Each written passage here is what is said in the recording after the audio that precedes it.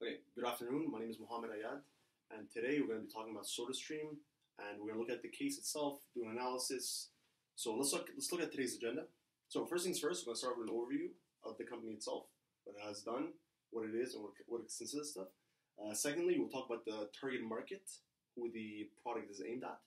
Uh, thirdly, we're going to look at the problem statement of the company and what they're trying to perceive with their new strategy. Fourth point is we're going to look at a highlighted SWOT, so the strength, weaknesses, opportunities, and threats. Um, then we're going to look at an alternative valuation, so a solution to the strategy that they're trying to come up with, what they should do. Uh, also, a decision matrix. And finally, we're going to end with a recommendation.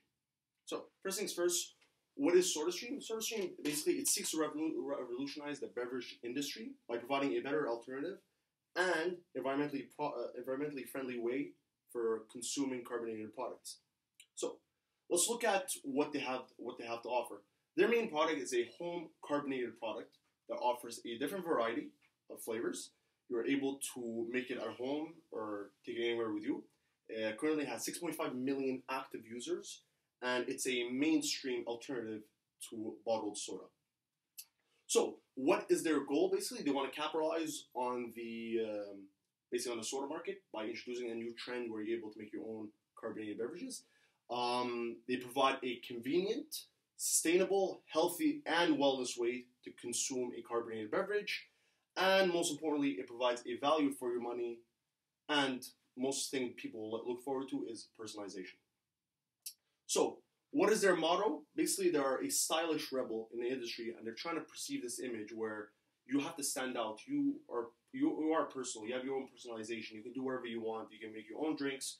So basically, to have your own spot within a social community that they're trying to perceive. So I'll pass off to Simon, who will be doing the target market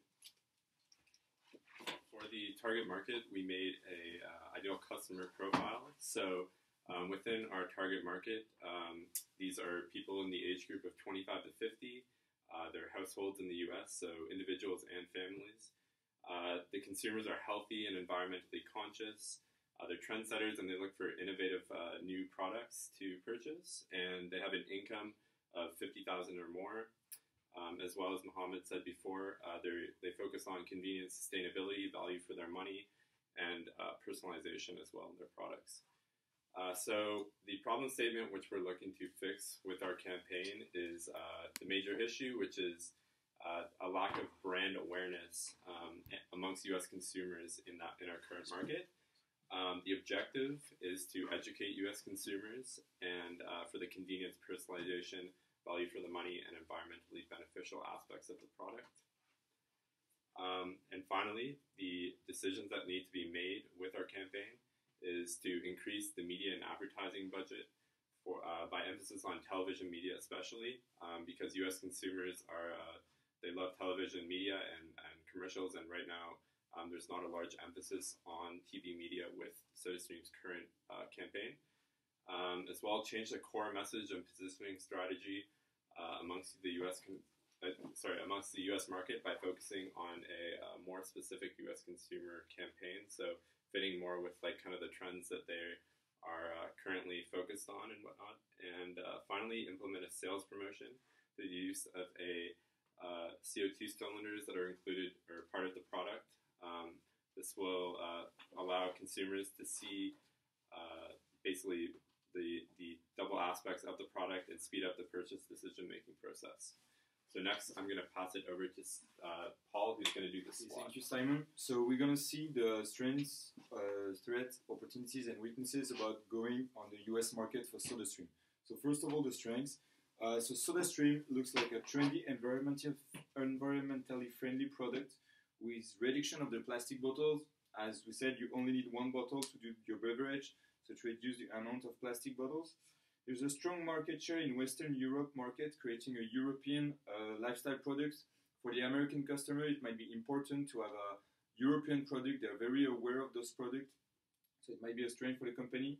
They have a razor and razor uh, blade, blade business model, which means that um, their business model is divided in two, two parts.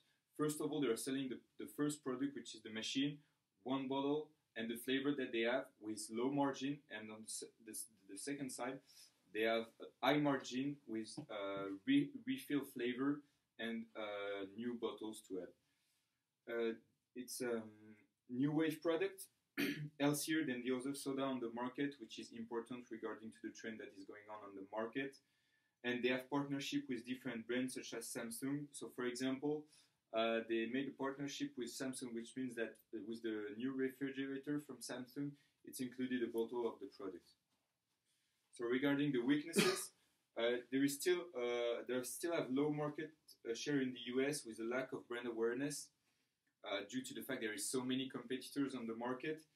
Uh, there is a lack of env- environment impact awareness in the US market. We know that they are among the, the most um, the less best uh, to, to they're not really aware of the environment yet and they need to do a lot of progress regarding this.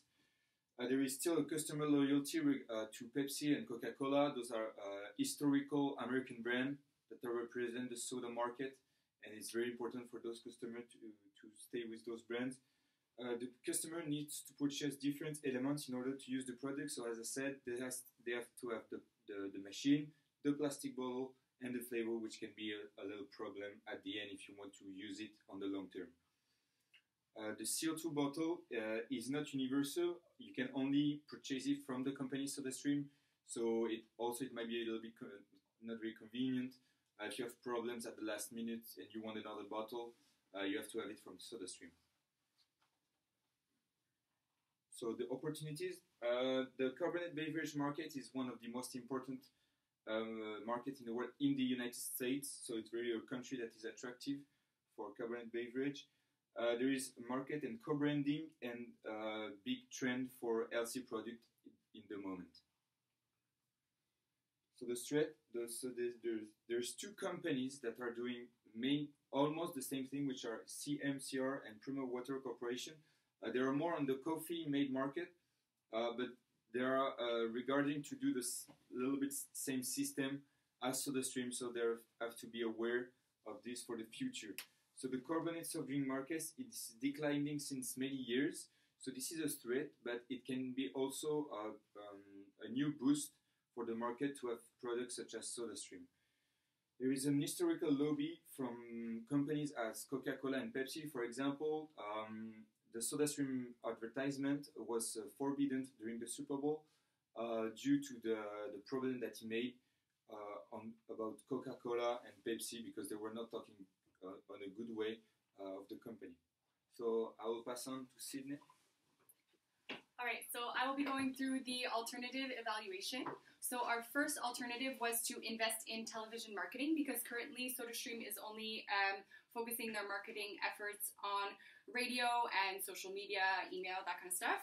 Uh, so we suggested increasing their marketing budget because they their current marketing budget is not enough to sat to fully utilize the TV. Um, mm-hmm.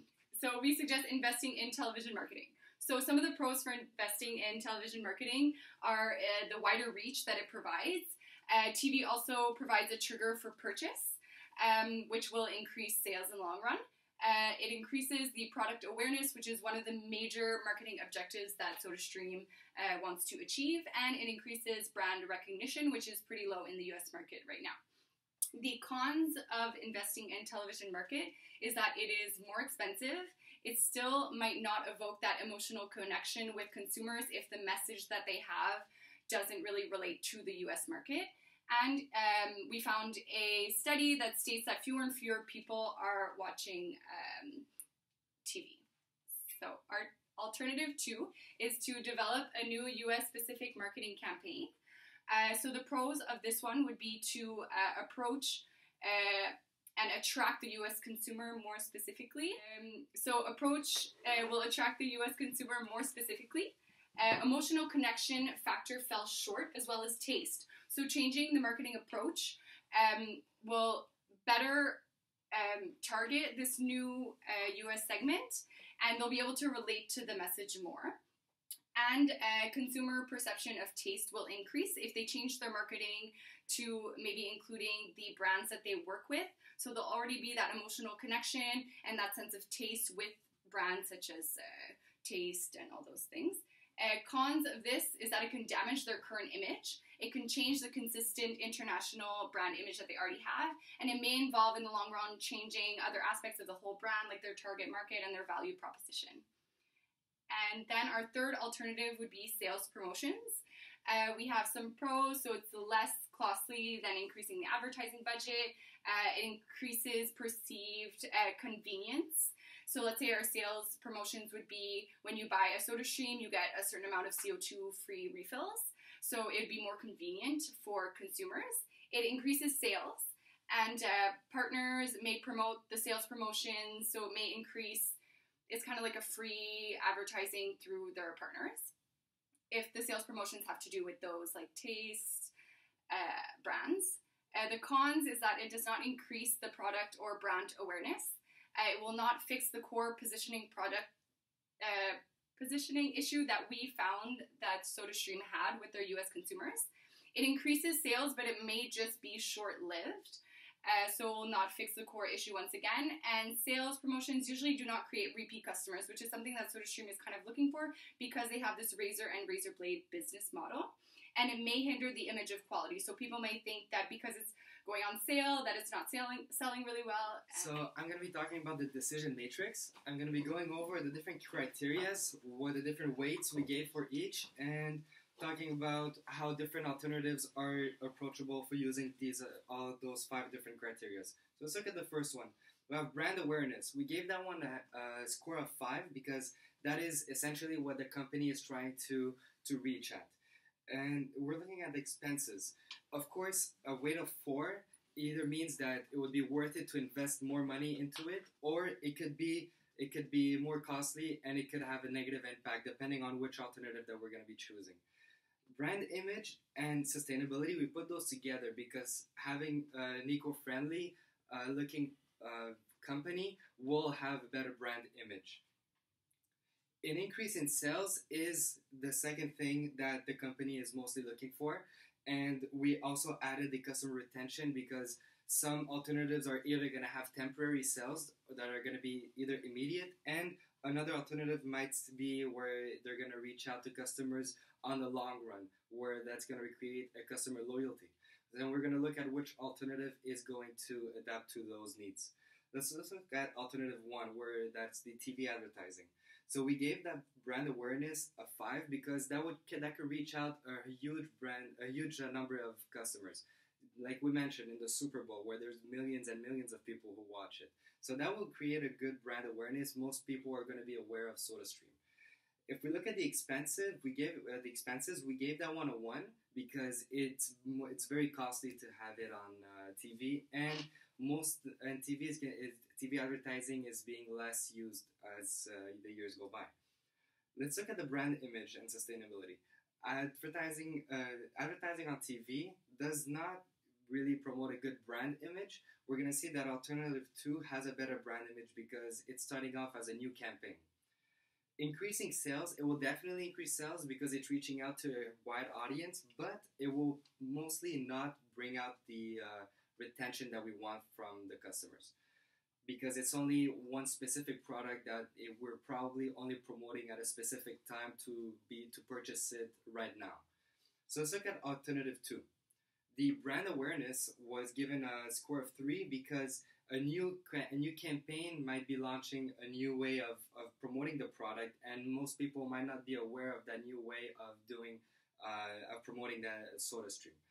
The expenses it, eh, we gave that one uh, an intermediate score of three because it could be really rewarding as it could be compromising to the company depending on how the campaign will end up going in which direction. The brand image and sustainability, SodaStream is going into a more eco-friendly uh, path, which creates a better brand image. Definitely will be an increase of sales because that is the ultimate goal of coming out with a new marketing campaign. Now, uh, the uh, the goal as well is to have customer retention, which is something that will be highly considered during an alternative such as a new marketing campaign. Let's look at uh, alternative three: sales promotion. it is it will create a good uh, it will create a good brand awareness, but only temporarily because it will be using a different product to to advertise it. So it won't be solely on SodaStream, as it would be also using the partners. It will be promoting the partners as well. So the expenses it would be costly as well, but it wouldn't be as rewarding as let's say alternative two. The brand image it again it will not show that it's a good brand image because it would not seem as if only SodaStream is the uh, the uh, the brand if it's part if it's showing that it's partnering up with another company. It will increase sales, but only temporarily because it will have only a limited time offer for a promotion. The customer retention on that one is is ranked with a score of one because it's not as as uh, retaining for them. It's if, it, if customers will only be interested for that specific promotion. So by looking at all those three alternatives, we can see that alternative two, which is a new marketing campaign, that seems the most promising. So I'll pass it along to Mohamed, who's going to be talking about the recommendations. Okay. As Halal said, we decided to go with alternative two after analyzing problem statement, target market, all the uh, SWOT analysis that were done. Um, presumably, why? Because the United States itself is a very unique market. It's not like the European market where they're more open to a friendly, a friendly, environmentally friendly product. It's quite different. So they have to start off from the very beginning. Start off with the secondary research. Look at the market itself. What do the what the what do the uh, U.S. consumers want out of a product? First things first is let's say do you want convenience? Do you want health? Do you want wellness? Do you want value for your money? These are all aspects we need to look at. And alternative two provides that best, basically the best choice for any marketer to be able to determine the final strategy. And mostly, we recommend that SodaStream partners up with other brands, well-known brands that the U.S. consumers can relate with, such as Coca-Cola, Pepsi, uh, Sprite, etc., and provide a flavor where the clients can actually personalize their own product. Thank you.